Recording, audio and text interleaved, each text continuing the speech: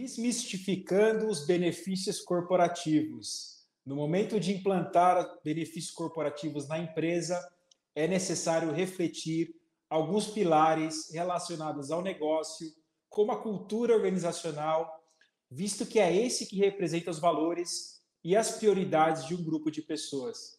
Mas por onde começar ou recomeçar? Opa, eu sou Fábio Oliveira e você está no Insidercast. Marco, a gente está com você aqui, Marco Ferelli, o fundador da Alaia. Falei certo, Marco? Falou errado, Fabio. É Alia. Alia. Pô, isso, isso porque a gente confirmou nos bastidores. Eu estou me entregando aqui. Não, mas, Alia, mas é, fundador da fica Alia. tranquilo. Tudo bem, Fabio? Prazer. Seja bem-vindo aqui ao Insidercast, Marco. Uma honra ter você Obrigado. com a gente. Obrigado, eu que agradeço, Fabio. Agradeço o convite aí de vocês, cara. Uma honra, honra é minha aqui. Muito obrigado. Marco, eu já vou fazer uma primeira pergunta para você da questão do que você for, foi atraído por esses dois temas que é da sua vida hoje, o empreendedorismo e os benefícios corporativos. Como que você chegou até eles? Da onde surgiu essa sua paixão? Legal. É, na realidade, assim, né, eu comecei a empreender, eu sempre trabalhei com consultoria, né, desde 2002, quando eu me formei. E de 2002 até mais ou menos 2012, 2013, cara, eu sempre atuei com implantação de sistemas, consultoria, processos e numa dinâmica de diversas áreas, né? Me formei em sistemas de informação e tal.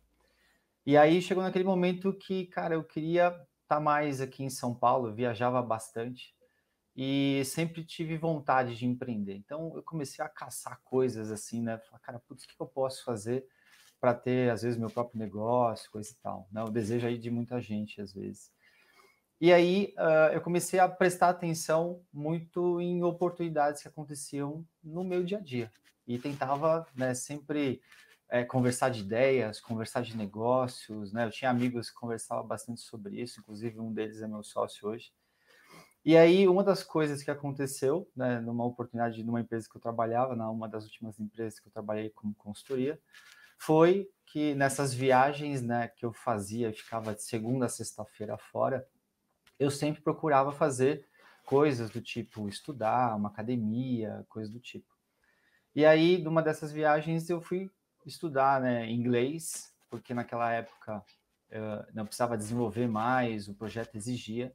E aí eu fui até uma escola de idiomas e perguntei se eles estavam dando desconto na época. E nessa época, né, eu já tinha uma filha pequena, recém-nascida, e, cara, eu precisava economizar.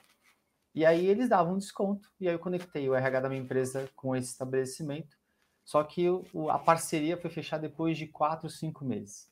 E aí, como eu queria começar a estudar e tinha essa janela de oportunidade, eu comecei a fazer o curso. E aí depois que eu fui me dar conta que eu tinha deixado de economizar 500 reais naquela época.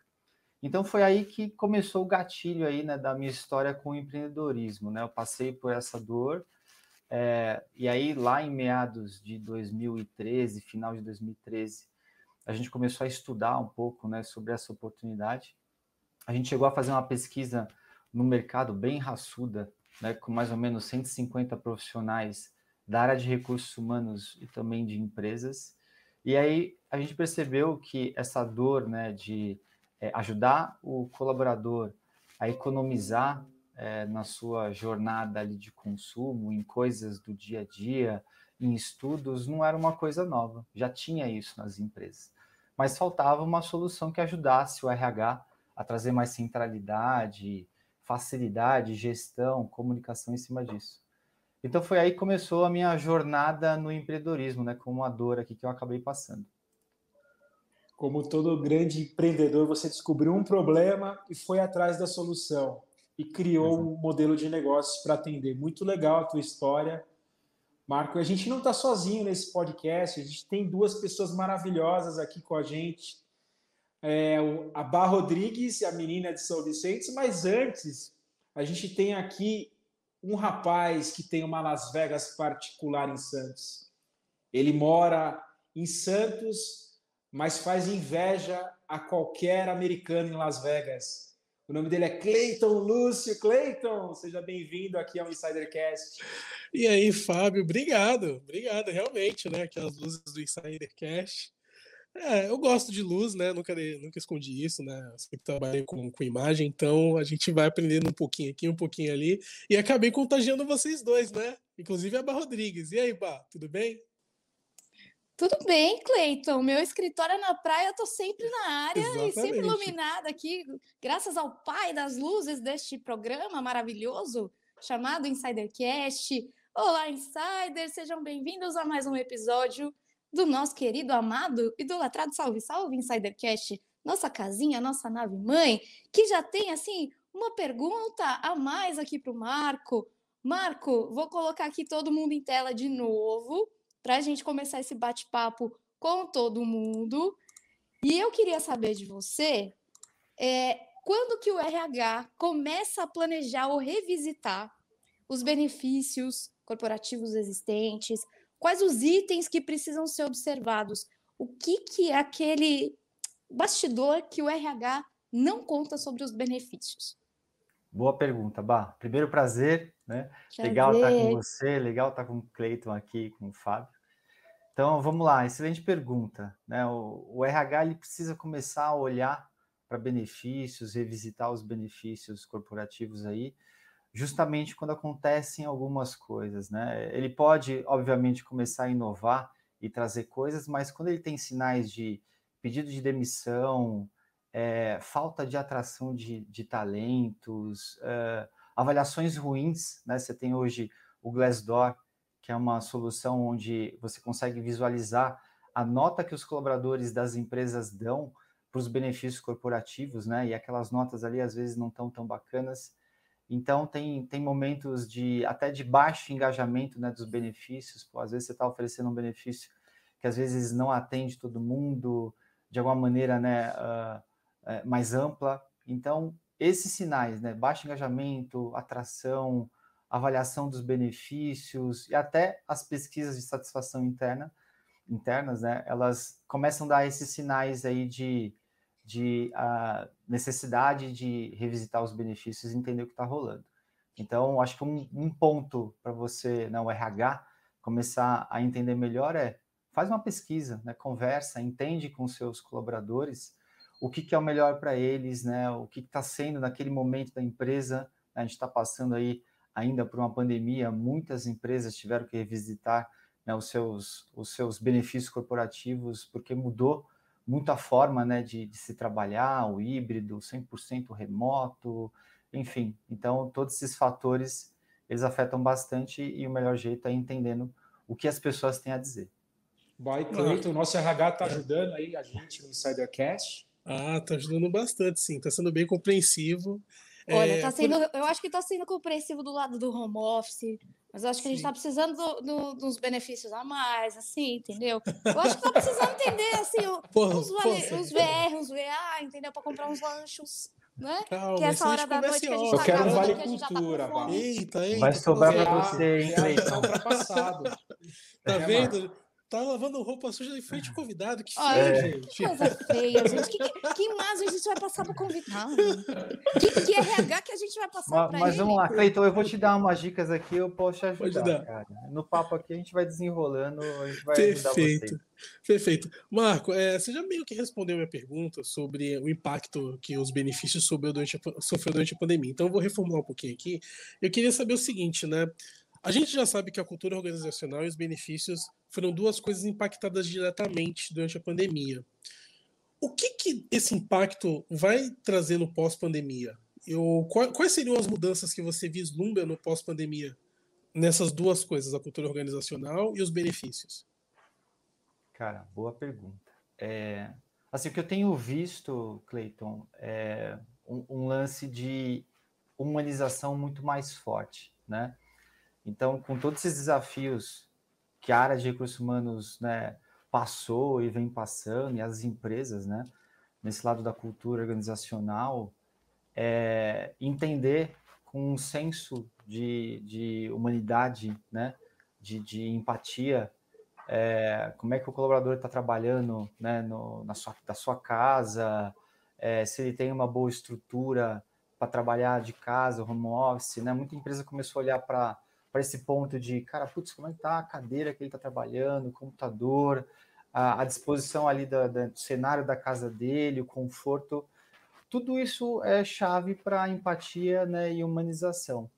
Então, eu acho que um ponto da cultura organizacional, ele está olhando muito com esse viés agora, né? O, o, RH já trabalhava com muita coisa, mas é, essa, essa pitada de, de humanidade ou de humanização é uma coisa que vai ficar mais latente. E aí, junto com isso, né? É, aí você pode explorar dentro dos benefícios corporativos, mas também tem os aspectos de proximidade né, entre os líderes, os liderados, o time, é, hoje, por você, às vezes, está muito no vídeo, né? É, eu tenho, por exemplo, colaboradores aqui dentro da área que eu ainda não tive a oportunidade de conhecer pessoalmente. E a gente sabe o quanto né, você ter essa proximidade pessoal ajuda demais na cultura organizacional. Então, isso é um aspecto importante. E aí, dentro né, dos, dos benefícios, aí, os, os principais impactos de transformação, eu acho que ele fica por esse por conta de dos, dos, benefícios estarem, né, às vezes um pouco mais engessados. Então, as empresas elas fizeram né, esse movimento de mudança. Então, entender da autonomia, flexibilizar né, os benefícios, acho que esses são os contextos aí que tem que ser olhados. Marco, o que tem de novo agora nos benefícios? A gente tem visto várias inovações no mercado e a gente tem acompanhado aí que a pandemia ela deu um, um belo restart nessas, nessa questão dos benefícios. Tem empresas oferecendo psicólogos online né, para cuidar da saúde mental, tem, tem empresas oferecendo vale cultura, vale viagem. É, eu vi que vocês têm um modelo um pouco diferente, que vocês também oferecem a questão financeira, né, a parte de educação financeira. Como que seria, como que seria essas tendências, na sua opinião? É, assim, a gente até fez um evento no, no começo desse ano falando de tendências aí para o RH né, em 2021. E olhando para 2022, né, por exemplo, acho que tem muitas delas que vão se manter e potencializar. Então, por exemplo, a parte de saúde mental é uma né, que está muito em evidência. É, tem algumas, né, por exemplo, o, o matching de candidatos para recrutamento é outro, né, para você, através de inteligência comercial, encontrar um melhor candidato para sua vaga, obviamente trazendo mais humanização nesse processo. A parte de LGPD tem muito RH preocupado né, com as contratações de soluções e uh, fazendo com que isso, de fato, é, atenda né, dentro da lei ali, é, sem maiores sacrifícios. E o que a gente vê é as empresas né, tentando se estabelecer dentro desse processo, organizando a casa para atender bem as, as as nuances aí da, da LGPD. A parte de gamificação e engajamento, né, outra coisa que é uma tendência que está muito forte. Uh, benefícios flexíveis, obviamente, também está em tendência. E essa parte de bem-estar financeiro, que é uma conexão né, que eu faço aqui com a nossa solução. O ponto do bem-estar financeiro, ele é um ponto hoje que eu entendo que é muito crucial, né, porque o, o bem-estar financeiro acaba impactando todas as outras áreas do bem-estar das pessoas. E quando né, o indivíduo ele está mal com as suas finanças, ele acaba impactando em todas as outras áreas, nos relacionamentos, na produtividade, enfim, né? E, e às vezes ela, ela, nem consegue utilizar outros benefícios que a própria empresa oferece, como benefícios, né, de, de benefícios físicos e outras coisas. Então, esse é um ponto bem importante, que é o ponto que a gente traz, né, mais ênfase na nossa solução hoje. Marco, as empresas entenderam que é preciso inovar para atrair e reter talentos no mercado, né? Principalmente geração Y, Z, né, que são mais novas, entendem mais, é, principalmente tudo isso que a gente está colocando aqui, principalmente esses novos benefícios que a gente comentou agora na tua última resposta, né, de saúde mental, educação financeira. Hoje existe uma consciência muito maior de tudo isso, né? Só Mas um parênteses, não fala geração Z pro Cleiton, não. É, não, é, é, piada interna, tá, Marco? Para você e para quem está chegando agora que não entendeu, é que o Cleiton falou que as empresas ai, quis. Oh, Cleiton, fala aí, por favor, a sua frase. Nossa, você é eternizado nisso, né? Caramba, pessoal, vocês não me dão, não sossego, né? Teve um episódio com a Daniela Ximenes, que ela, ela era head da Nissin, e era sobre geração Z. E aí, tipo, eu falei acho que umas duas vezes, assim, que as empresas que não se conectarem com a geração Z estão fadadas ao fracasso. E eu acredito que realmente estão, porque é um público que vai ser o público consumidor e vai perpetuar. Então, se as empresas não têm essa conexão com essa nova geração, elas estão perdendo o mercado para daqui a 20, 30, 40, 50 anos, entendeu? Mas aí o pessoal pega no meu pé sempre, né? Você virou tipo um meme relembrar, né? É, é, é bom a gente relembrar, esse episódio tá lá na nossa segunda temporada, inclusive, da geração Z. Para você é, ver. Tá na segunda temporada a gente, a gente tá já tá na, na nona. É, já tá, Não, a gente já tá, tá na décima. décima. Inclusive, queria botar mais esse parêntese. este é o segundo episódio da décima temporada do Insidercast. É, mas voltando aqui à pergunta, Marco, esses benefícios, você acha que são importantes nesse processo de atração e retenção desses novos talentos? Sem dúvida, Bá. É, assim, né, os benefícios hoje eles são uma grande fonte de atração e retenção de talentos, né? E, e precisa aí, aí isso é, né, através aí de todas as gerações, acho que não importa, né, se é Y, Z, Baby Boomer, enfim. O que precisa entender é o perfil de cada empresa, dos colaboradores de cada empresa, né? E, e você conseguir incluir as pessoas, né? E trazer diversidade para os benefícios. Isso é muito difícil. Você pega empresas hoje, né? Que são nacionais, né? Até a própria Alia, né? A empresa que hoje tem mais de, de tem mais ou menos 60 colaboradores, 62, e a gente tem as pessoas espalhadas por 17 cidades aqui no Brasil. Então, se você pegar, por exemplo, um plano de saúde, o plano de saúde que atende, por exemplo, São Paulo, região Sudeste, não é o mesmo que atende a região Nordeste. E aí, quando a gente olha para benefícios, isso que é, às vezes, a complexidade, né? De você trazer equidade, trazer democracia nesse processo, trazer inclusão e trazer diversidade. Então, é, acho que o, esse ponto né, de atração, retenção, sem dúvida nenhuma, ele, ele né, pega as, as gerações, mas eu colocaria dessa maneira. A empresa precisa entender quem são os né, quem são os, os, trabalhadores, os cobradores que estão dentro da empresa dela, qual é o perfil deles, né, o que serve para eles em determinada região, às vezes não é o que serve para outras pessoas que estão em outra né, região. Então, esse lance da flexibilidade e entendimento é o que realmente é, leva né, no, no jogo aí de atração e retenção. E tem toda uma configuração, né, com salários, benefícios, cultura, clima. Acho que não tem uma bala de prata, mas hoje o benefício, né, ele é realmente é, visto como uma moeda aí de atração e retenção. Legal, Marco. A gente tem uma pergunta aqui que a gente costuma falar que é a pergunta coringa, né?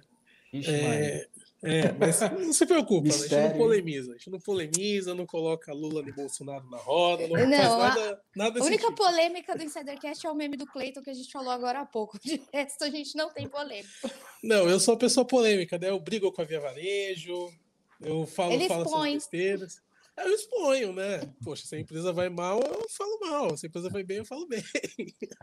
Mas, Marco, é, normalmente a gente pede para o convidado escolher um número de 0 a 10, mas hoje eu percebi algo que eu gosto muito, que são livros.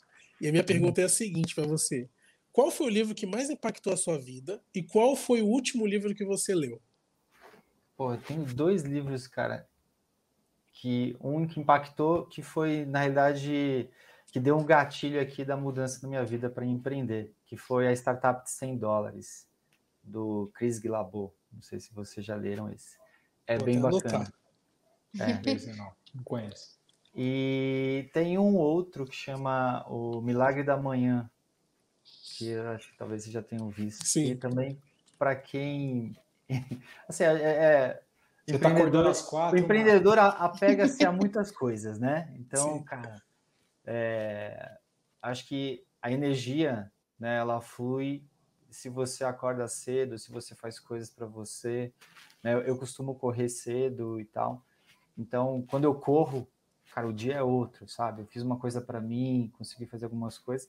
Lá no livro ele prega sete, oito coisas ali que você poderia fazer né, durante as primeiras horas do dia. E se você faz isso bem com regularidade, cara, você, você passa a ter né, mais energia para os seus desafios, né, para o seu dia a dia. Então esse livro, cara, é fantástico, recomendo para todo mundo. Inclusive já fiz um post sobre ele no LinkedIn. E o da Startup de 100 dólares é um livro mais antigo, mas que, cara, é atemporal para quem quer empreender, assim, sabe? Bem bacana. Várias dicas ali de, de empreendimentos, coisas que os empreendedores fizeram.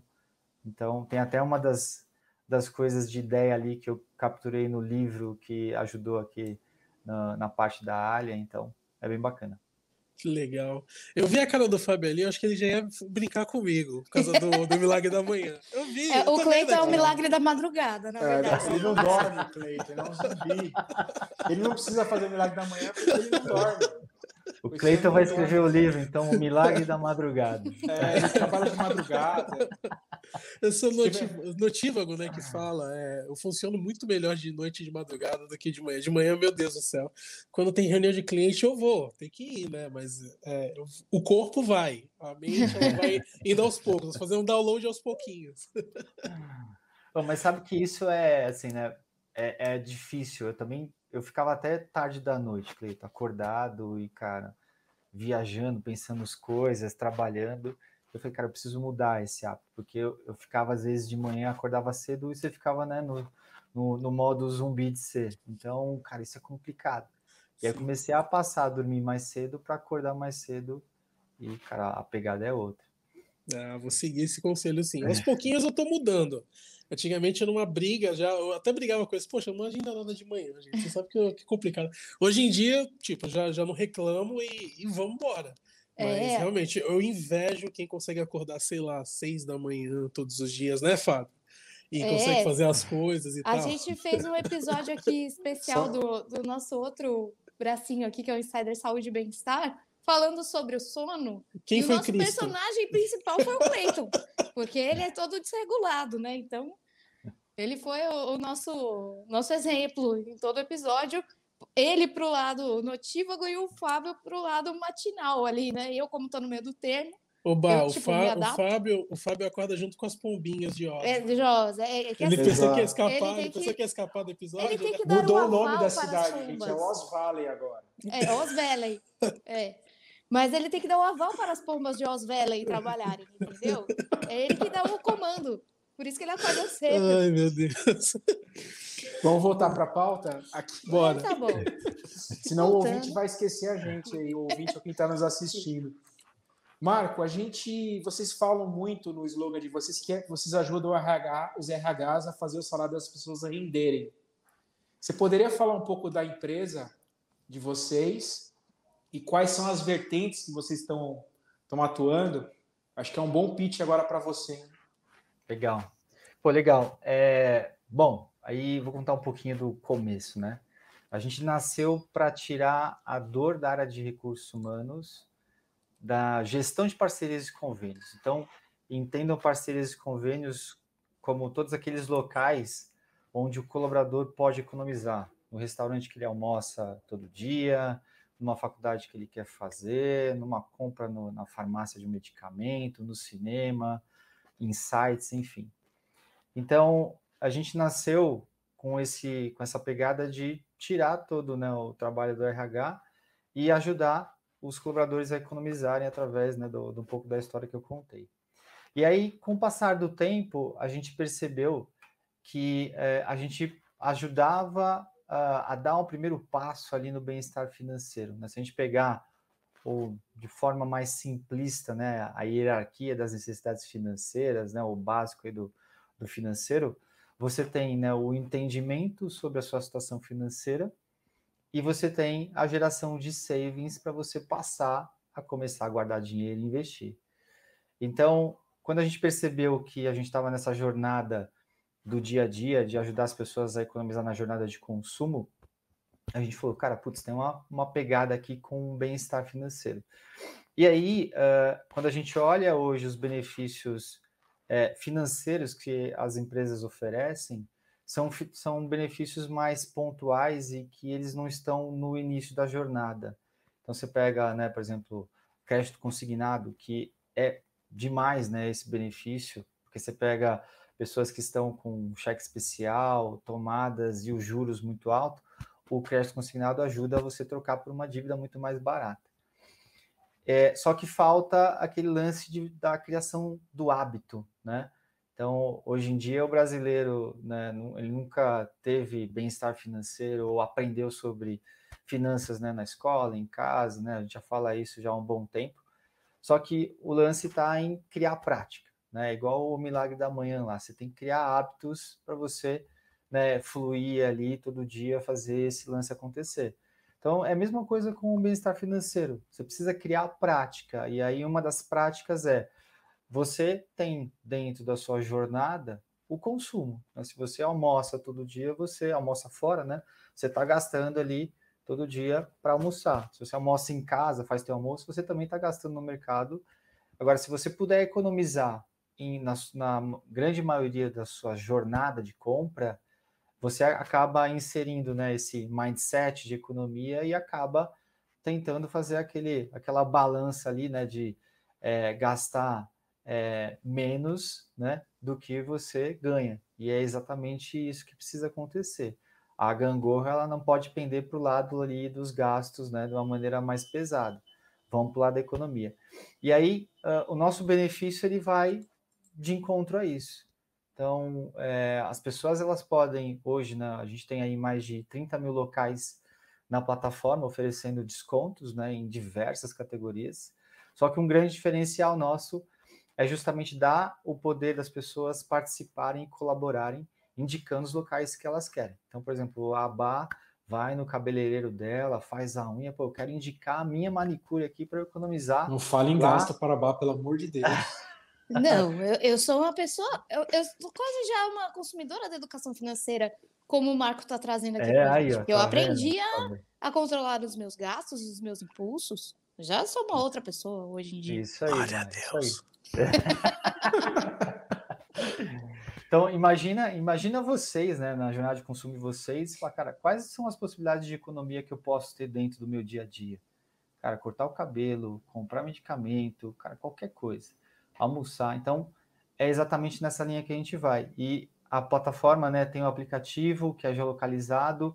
As pessoas podem indicar esses locais por lá e a gente tem um time que cuida de fazer todo o contato com os estabelecimentos para converter né, esse parceiro aqui para dentro da plataforma. Dá até para cortar é... o cabelo com os benefícios, fazer a unha para as mulheres. Exatamente. Eu, eu, vou num cabeleireiro que eu tenho desconto, que é parceiro nosso aqui. Então, tem, tem muita coisa desse tipo, muita coisa do dia a dia. O setor de benefícios está engessado, né, Marco? Tem muito que é. evoluir, né? Na maioria dos.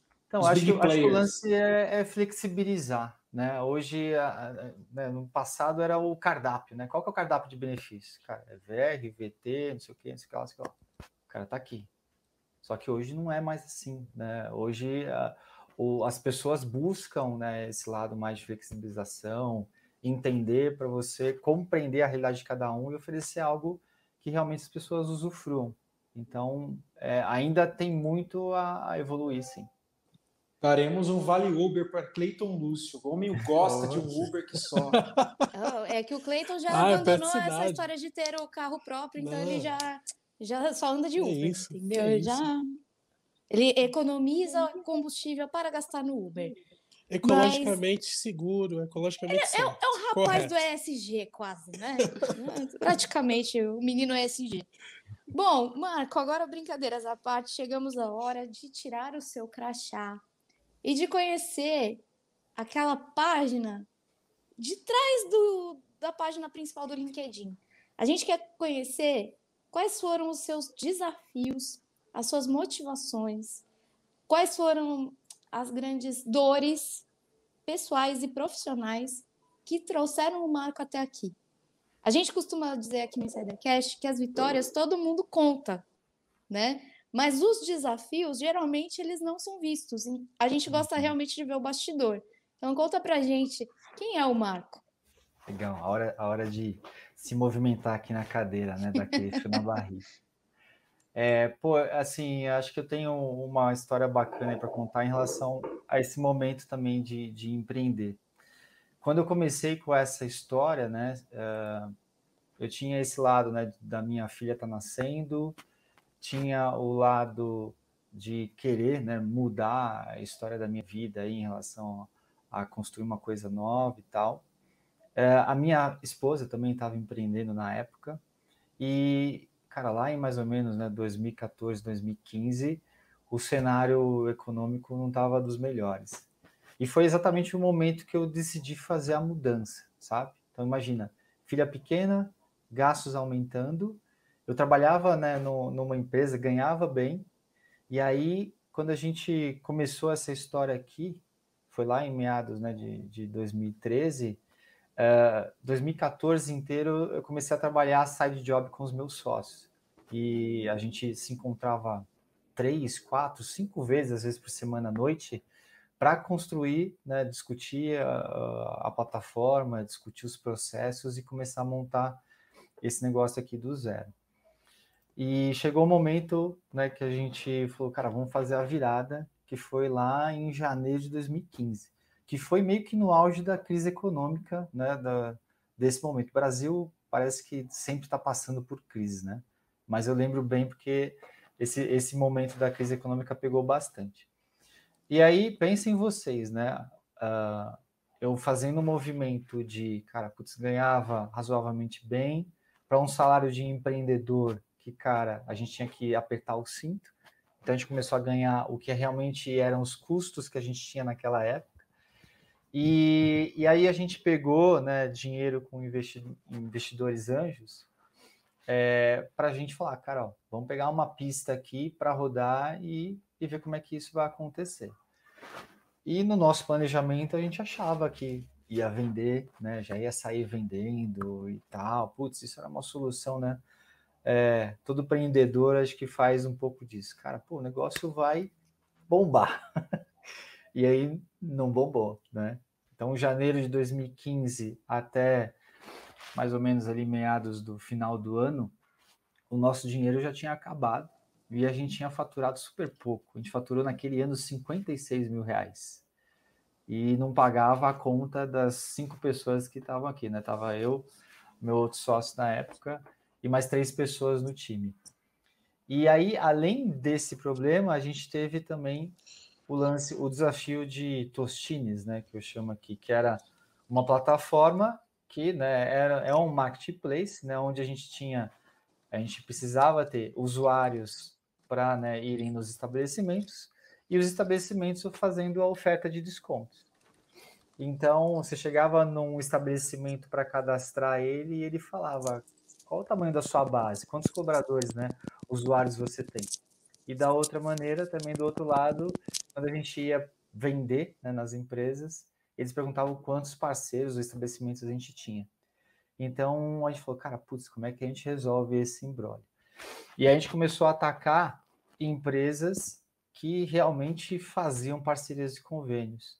E aí, a partir de então, a gente começou a levar é, a Alia como uma solução para falar, cara, se você já tem parcerias de convênios, usa a nossa solução, a gente pega todas as suas parcerias, coloca aqui dentro e aí você vai ter uma solução muito melhor para você gerir, para comunicar e para os cobradores acessarem e usarem.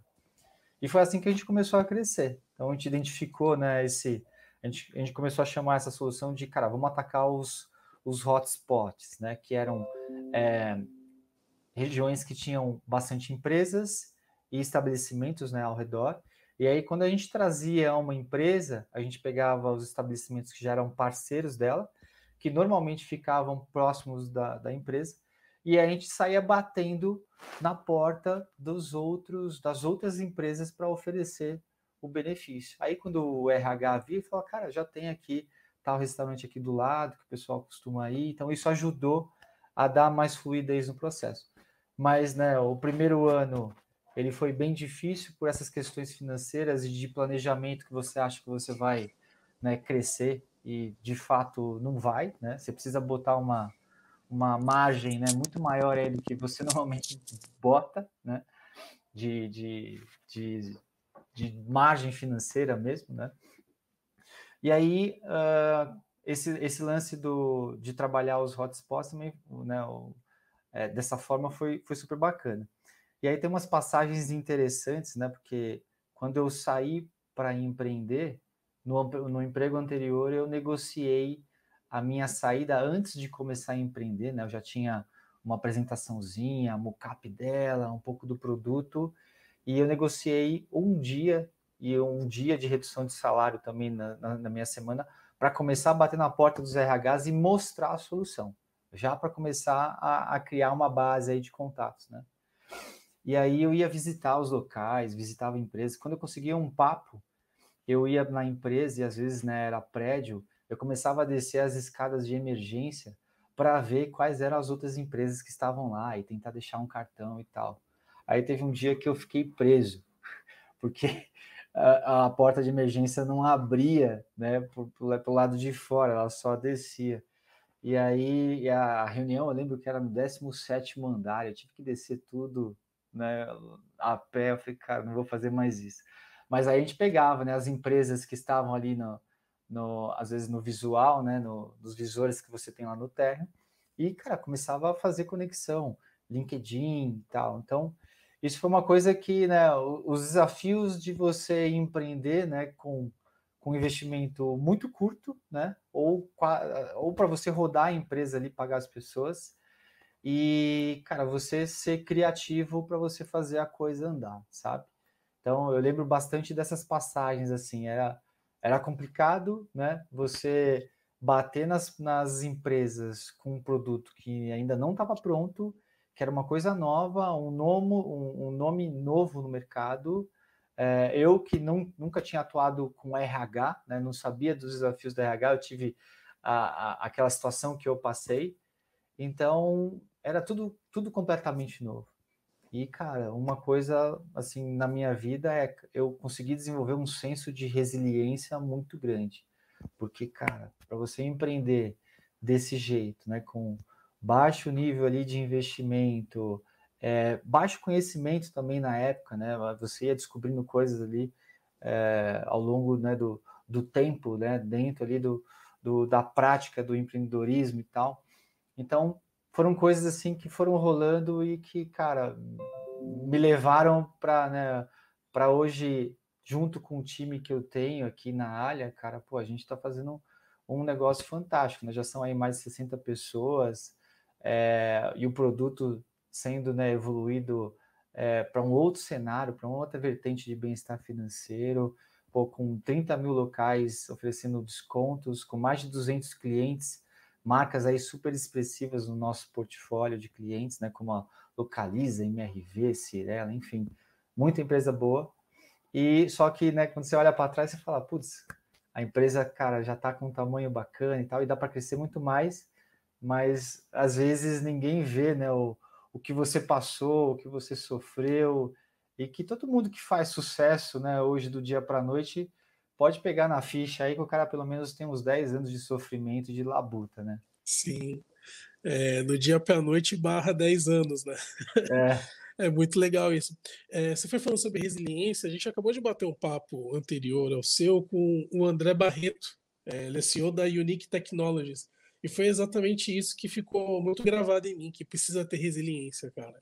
E todo empreendedor tem que ser resiliente, não tem jeito, tá? Não é opcional você não ser resiliente, porque os desafios, muitas, muitas vezes não, todas as vezes, quando você quer empreender e quer fazer algo grande, como é o seu caso, como é o caso do, do André, cara, no começo vai ser muito maior do que você acredita ser capaz de conseguir fazer e resolver.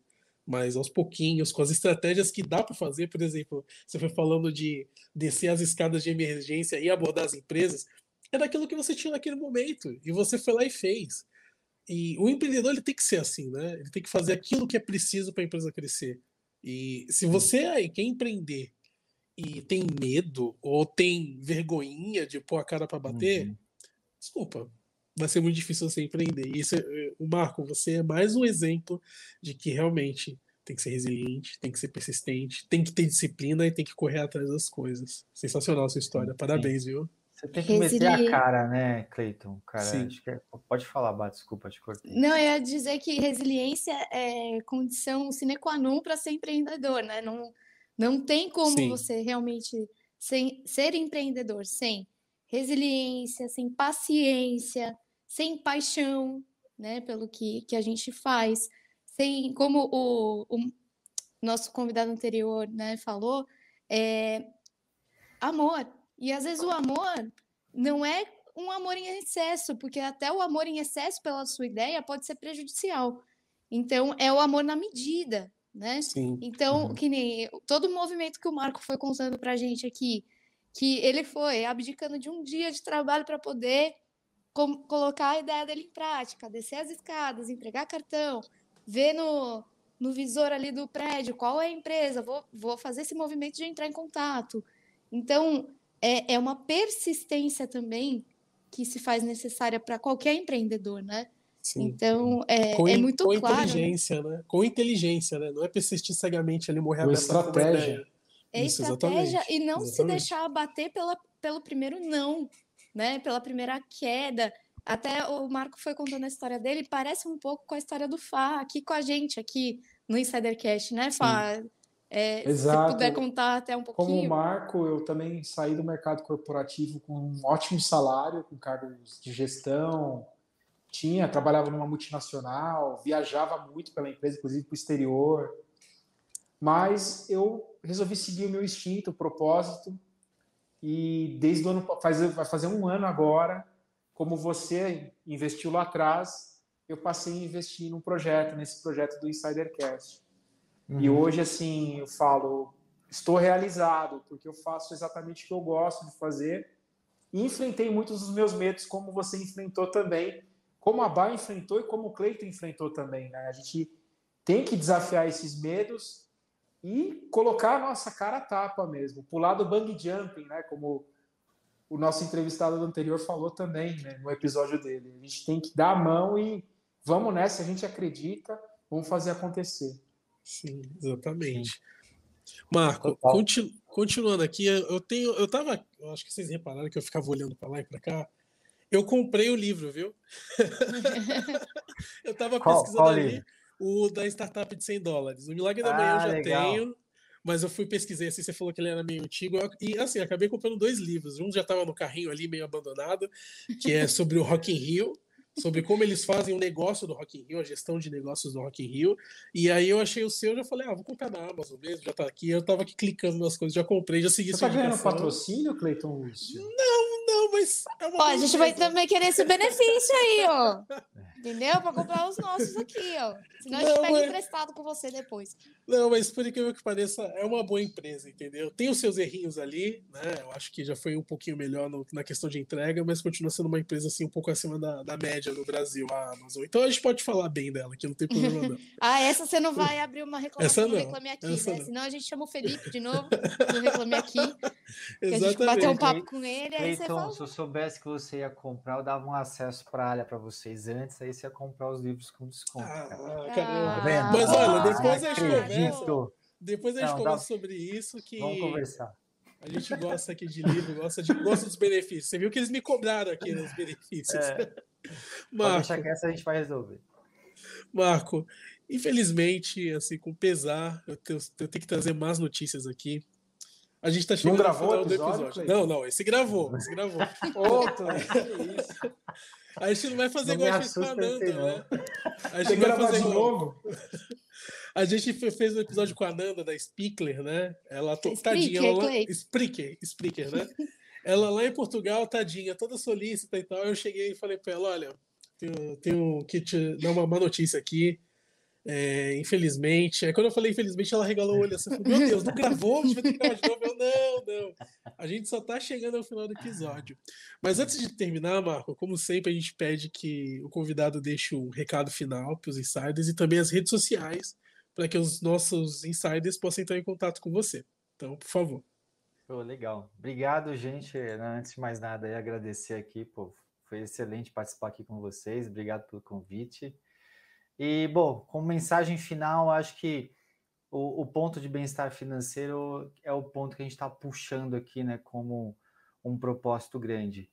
E a gente sabe que para mudar essa situação, as pessoas precisam de apoio, né? E o RH hoje dentro das empresas ele pode ser esse apoiador, ou ele pode ter o dever né, de fazer esse, esse lance acontecer. Então a gente puxa muito isso, sabe?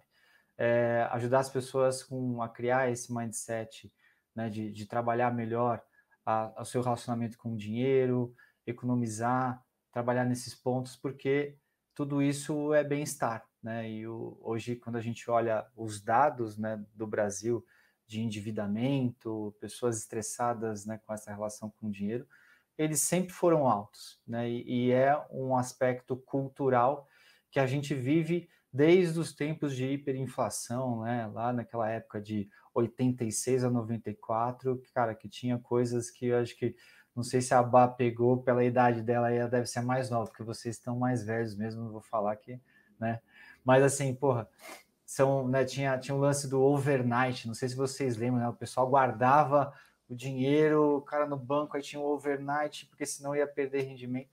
Então, isso era um fator que complicava bastante. E aí as pessoas, às vezes, carregaram né, esse, esse lance da história para o seu dia a dia e as famílias tinham muito esse hábito de, cara, consumir, senão eu vou perder o dinheiro, né? O dinheiro não vai valer mais nada no dia seguinte. Eu lembro que os meus pais eles compravam muito de atacado, né? Hoje não é mais assim. Mas as pessoas perderam um pouco desse, desse lance de, cara, é, trabalhar bem né, o, o, hábito financeiro. Então, acho que esse é um ponto que fica. É, dar, né, levar essa oportunidade e as empresas né, que puderem apoiar seus colaboradores nesse sentido, fazer esse papo aberto, dar ferramentas, dar opções. E acho que para o lado do empreendedorismo, acho que é esse lance da, da resiliência e de não desistir, eu acho que é um ponto crucial. Tem muita gente que fala de, ah, cara, se dá um tempo né, na, na sua jornada de empreendedor para ver quando acontece, bota um fôlego, bota uma pista. Eu não acho que deve ser assim. E para mim não foi assim, porque os tombos foram vários, assim, né? A falta de dinheiro foram, cara, algumas. Só que se você tivesse, né, se eu tivesse desistido em algum momento desse ponto, eu não ia estar aqui gravando esse episódio com vocês, contando um pouco da história que está rolando, né, e de toda essa jornada que a gente está construindo aqui com o time na área. Então, pô, essa, essa é a minha mensagem final, o meu recado final aí para vocês. Poxa, obrigado, Marco. É, eu acho que cada vez fica mais claro para mim que ser empreendedor é ser desbravador. É, não tem outra definição para empreender. O empreendedor é aquele que realmente faz a humanidade evoluir, é, seja em todas as áreas. Se você é empreendedor, você vai ter desafios, sim. Se você não tem desafios, você não está empreendendo, você não está dando o seu máximo. E se você não está dando o seu máximo, você está fazendo, acho que o que a maioria das pessoas fazem. Então, é, é, muito bonito falar quando a pessoa já chegou no sucesso dela lá. Ah, ele é um empreendedor de sucesso. Mas eu acho que empreendedor também, ele acaba sendo um pouco de vocação, porque, cara, é, se você pegar os empreendedores de sucesso, todos vão falar a mesma coisa. O começo é muito difícil. Você duvida o tempo todo da sua capacidade, mas você inconscientemente tem uma voz pequenininha ali dentro de você falando: não desiste, continua, persiste. É, e outra coisa que eu acho que todo empreendedor tem é o medo da estabilidade. Cara, é muito engraçado isso, né? Eu falo, a Bárbara me conhece um pouco melhor, e ela sabe que na minha vida toda eu fiquei acho que seis meses trabalhando de carteira assinada. E eu nunca consegui ficar mais do que seis meses trabalhando de carteira assinada porque eu sempre queria mais, eu sempre queria fazer mais, eu sempre quis buscar novos desafios. Então o empreendedor ele tem esse ímpeto. E, cara, se você tem esse ímpeto que eu tô falando, se você se identifica com isso, eu aposto e ganho com você, insider, você que tá me ouvindo, que não vai ser um emprego regular que vai te fazer feliz. Eu acho que você tem grandes coisas a criar e você não pode se amedrontar por causa dos desafios. Então persista, como, como a gente vem dizendo em todos os episódios, persista, tenha uma estratégia, foque e vá fazendo todos os dias um pouquinho, porque uma hora ou outra você vai chegar lá. Às vezes demora um ano, às vezes demora dois, às vezes demora dez, às vezes demora quinze. Não importa. Você vai ter que viver mesmo. Então que você viva movido pelo seu sonho e não pelo conforto. Essa é a minha mensagem. Marco, muito obrigado por compartilhar esse tempo com a gente. Muito obrigado, Fábio. Muito obrigado, Bar. E agora eu deixo a bola com a Bar Rodrigues. E tchau, insiders. Obrigada, Cleiton. Queria também agradecer ao Marco, a Luna, a Maria Eduarda que estão aqui é, e que sugeriram essa pauta com o Marco aqui para gente. É, eu acho que assino embaixo de tudo que o Cleiton disse aqui. E eu acho que tem um outro ponto fundamental do empreendedor, que é a inquietude. É um pouco do que o Cleiton falou ali. Quem é empreendedor precisa ter essa inquietude, essa, esse comichão de não se deixar abater, não só no sentido de querer parar com tudo, mas no sentido de não querer ser mais do mesmo. Não ser mais uma empresa, no nosso caso aqui, que faz comunicação, faz podcast. Não, o que, que a gente é diferente? E quando a gente acha esse diferente, aí de novo a pergunta, tá, ok, como que a gente muda de novo? É não ter essa, esse comodismo, né? Eu acho que se o Marco hoje está onde está, é porque ele não se aquietou também e não desistiu. Mesmo quando faltou dinheiro, mesmo quando apertou é, o calo ali, hum, putz, eu não ganhava, não ganho o que eu ganhava, né? Eu comecei a empreender e, cara, não estou ganhando igual, mas ele não se deixou abater. Então, são características fundamentais é, para que um empreendedor tenha sucesso e muita paciência e muita disciplina. Até o milagre da manhã é um pouquinho dessa disciplina, né? Que a gente precisa ter de rotina, de entrar em contato, de fazer novos contatos, conhecer novas pessoas. E é um eterno plantio, né? Uma hora ele dá fruto. Pode levar um ano, dez anos, cinco meses, depende do mercado, depende da situação. E é isso, é, é esperar o tempo dessa colheita, né? E eu acho que é isso que eu tenho para deixar de recado final. Agradecer mais uma vez as meninas, agradecer a vocês, insiders, pela audiência de vocês, e agradecer a ele, o nosso menino de Osveley. Fábio Oliveira, obrigada por mais esse episódio e a gente se encontra no próximo Insidercast. Obrigado, Já vou começar aqui empreendendo com a minha barraquinha de cachorro quente aqui na cidade. Mas eu tenho que fazer algo diferente, porque aqui a concorrência é alta. Poxa, vocês falaram tão bem aí da questão do empreendedorismo, eu queria fazer um contraponto aí na, nesse insight final. Você também pode empreender sendo CLT na sua empresa trabalhando como CLT. Por que você não pode pensar algo diferente, propor algo diferente no seu trabalho? Empreender não é para todo mundo. Às vezes você não está no momento de empreender, muitas vezes você não tem o perfil de empreendedor. Acho que a gente precisa também fazer essa análise, não romantizar o empreendedorismo, porque o empreendedorismo é difícil, você precisa cair de cabeça mesmo para empreender, mas você também pode fazer sendo CLT, sendo diferente no local onde você está trabalhando, propor ideias, inovações e também ser muito feliz como um CLT. Às vezes o período seu vai mudar, você vai falar, puxa, eu não quero mais trabalhar como CLT, eu vou trabalhar como empreendedor. Talvez seja o momento de você mudar.